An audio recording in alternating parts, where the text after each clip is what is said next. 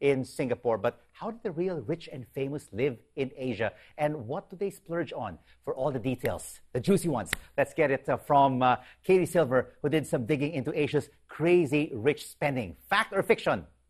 fact, Rico. There's a lot of amazing spending going on here in Oh, Asia. look at all that cash. So, here it is. exactly. So let me tell you about some of it.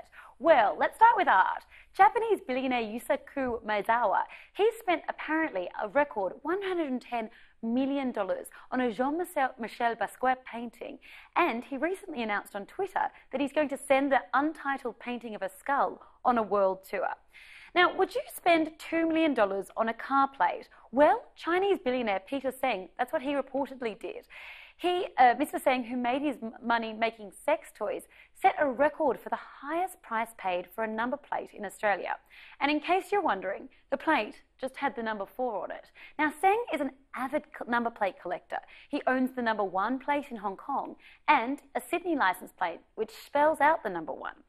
And in the Australian state of Victoria, where he purchased this number four plate, single digit number plates are actually also investment grade assets.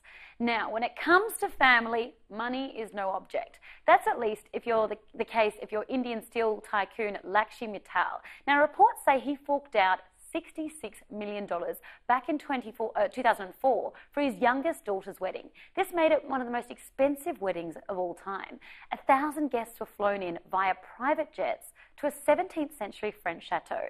Fireworks were launched from the Eiffel Tower, and there was even a performance by Kylie Minogue.